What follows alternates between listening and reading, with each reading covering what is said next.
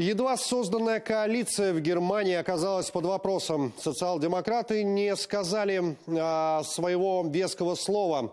СДКи готовятся к партийному съезду, на котором и должны решить, начнет, э, начнет ли их политическая сила коалиционные переговоры с христианскими демократами. Чего же ждать от большого собрания, расскажет Татьяна Лагунова.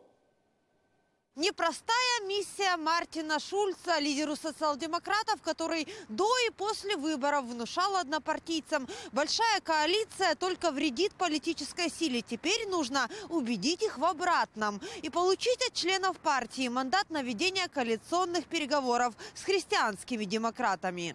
Причины так долго и настойчиво отказываться от большой коалиции у Мартина Шульца были веские. Все социологические исследования показывают, входя в правящий союз такого формата, партия теряет рейтинги. Но после того, как Ангела Меркель не смогла договориться с либералами и зелеными, в дело вмешался президент Франк-Вальтер Штайнмайер и убедил эсдеков рискнуть еще раз.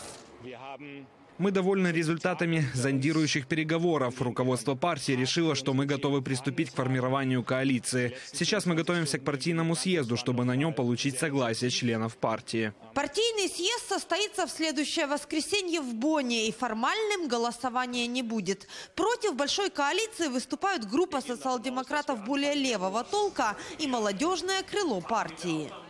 Моя интуиция говорит, голосов «за» может и не хватить. Если же СДКи все-таки проголосуют «за», то коалиционные переговоры начнутся уже на следующий день после партийного съезда.